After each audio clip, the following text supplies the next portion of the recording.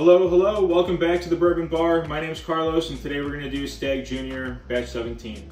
Um, it comes out pretty uh, rarely, a couple times a year, and I don't know if you guys are aware, but the Stagg Junior portion has been dropped and it'll become just Stagg going forward.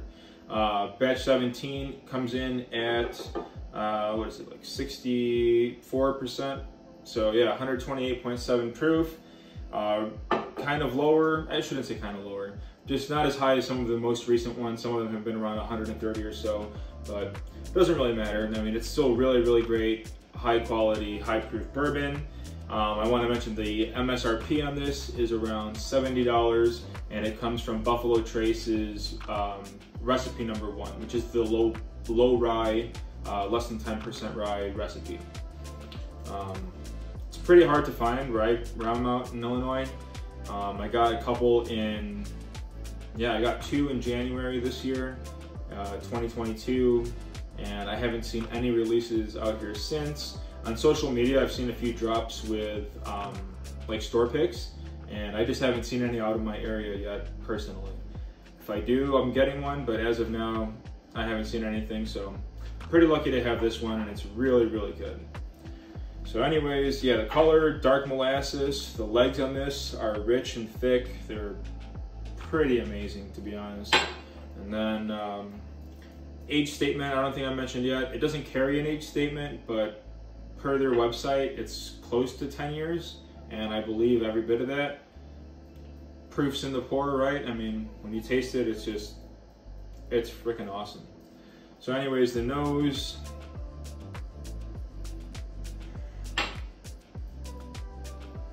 rich caramel, some maple, some oak, but not like hot oak, like sweet oak, sweet wet oak. A little bit of leather and molasses. And just a touch of red fruit, like maybe like maybe like cherry.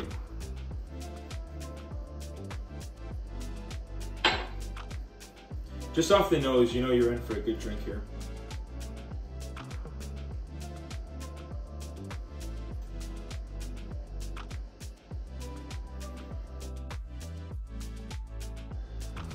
It's got me breathing heavy, but that's just because I held it in the palate for so long. I just really wanted to soak it up.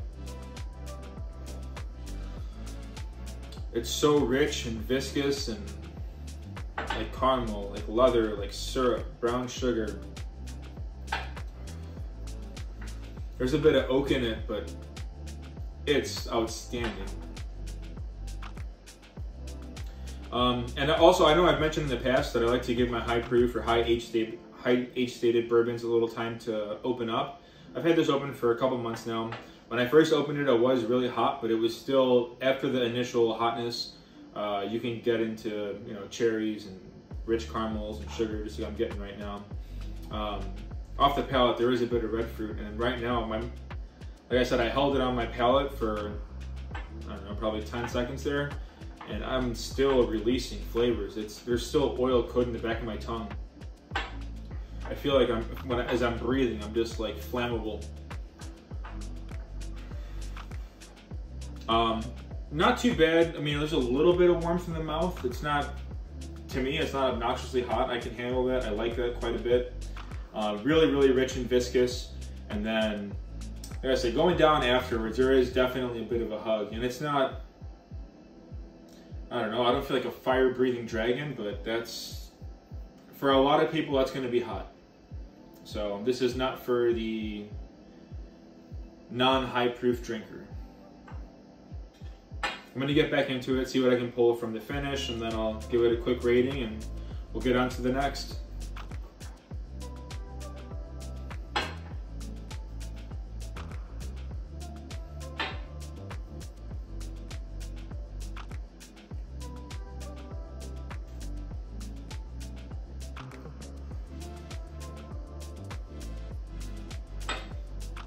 That is so, so damn good. I really wish this was more easily available. As this is starting to um, finish off here, I'm just getting some oak, some vanilla, some syrup, some clove. yeah, some nice rich sugars.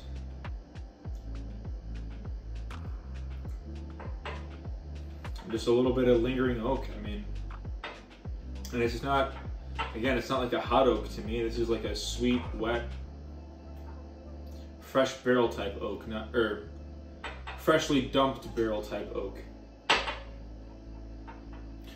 Really good though. Um, so I guess I'll get into rating it. You know, availability on this one is probably going to be its biggest knock. But anyways, pricing at $70 MSRP. If you can get it for $70, A plus. This is phenomenal. And again, I like high proof bourbon. So to me, this is one of the best high proof bourbons you can get for under $100. 70 bucks, buy it all day. Um, unfortunately, I've seen this significantly higher than 100 bucks or 70 bucks. I've seen it closer to 200 a couple times. I don't know, to each his own. I, I wouldn't go two, 300 on it. I might go up to 100 or so, maybe just slightly north, but yeah, this is not a 150 $200 bourbon to me. And like I said, I really just wish it was easier to find because now I'm going to get into availability and I have to give it a C minus, and that might be slamming it, but two to three releases a year.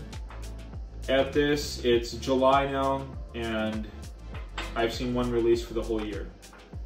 And that's in my state of Illinois. I don't know if there's been any drops. If there has, I missed out. I got this one in January, so I got the first release of the year, and that was the secondary delayed um, release of batch 17 that came out in 2021. So it's not like this is, you know, a Stagg without the junior. This is just a, I got really lucky to find it. And then quality, I have to give it an A plus. It's outstanding to me. I, I love the high proof. I love the cherry, the nuttiness, the brown sugars, the sweet oak.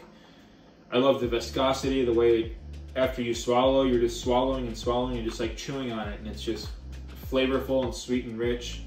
And yeah, I really like it. Really, really like it. Um, anyways, thanks for joining me. I hope you guys enjoyed my review. Like, share, comment, subscribe, and hope to see you guys next week. Thank you.